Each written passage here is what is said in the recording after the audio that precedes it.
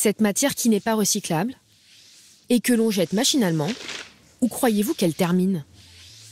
On va l'utiliser euh, deux minutes, 30 secondes, même pas. Et puis, et puis voilà, pouf, c'est à la poubelle. Tout simplement, dans un incinérateur ou enfoui. C'est le sort que connaissent les 7 milliards de lingettes jetées chaque année par les Français.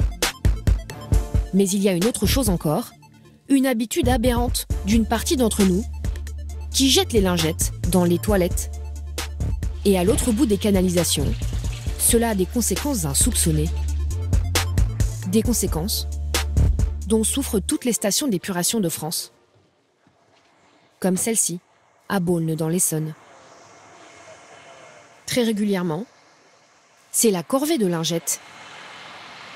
Bonjour Franck, ça va? Ça va là Ouais, toi? Et ce jour-là, c'est pour Franck Chevalier et son équipe. Vas-y, vas-y. Faut que tu le balances. Chaque semaine, il doit débarrasser cette conduite qui achemine les eaux de la commune d'un gros bouchon. Parce que là, il est quand même bien plein là. hein. Ouais, il y a un paquet là. euh, C'est pratiquement que de la lingette.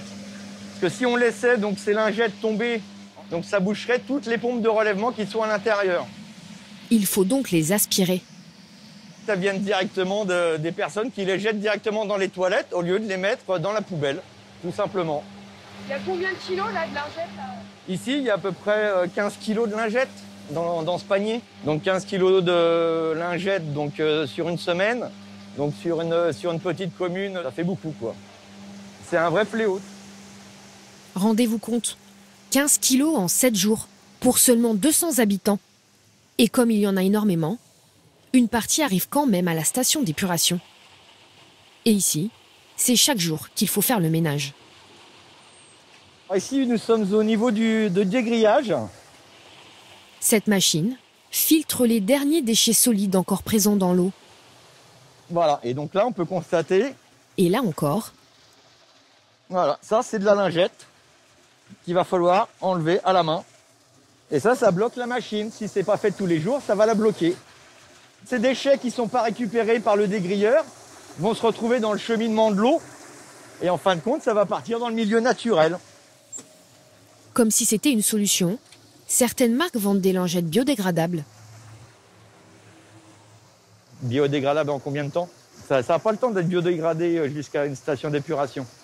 Donc c'est peut-être biodégradable en un mois, mais c'est pas biodégradable sur l'instant. La preuve en est, c'est que quand elles arrivent ici, elles sont pas biodégradées du tout. Elles, sont, elles sont encore entières et intactes.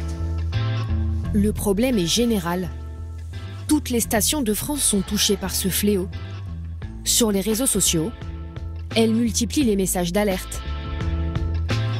Et les images coup de poing pour faire changer les mauvaises habitudes des usagers. La facture est écologique, mais également économique pour notre portefeuille. Bonjour. Bonjour. C'est ce que constate Michel Vialat, qui dirige 12 autres stations comme celle-ci. Ce phénomène, nous le rencontrons partout, sur l'ensemble de notre territoire. Le rejet des lingettes fait vieillir prématurément les équipements de traitement. Il faut donc remplacer des pièces, changer des canalisations, renforcer la maintenance, ce qui entraîne des coûts supplémentaires qui se retrouvent un jour sur la facture d'eau qui est envoyée à cet usager. Voilà comment le consommateur paye doublement la note. À l'achat de ses lingettes, puis au moment de sa facture d'eau. Des lingettes qui ont donc un coût caché, nocif pour l'environnement et notre santé. Alors comment arrêter?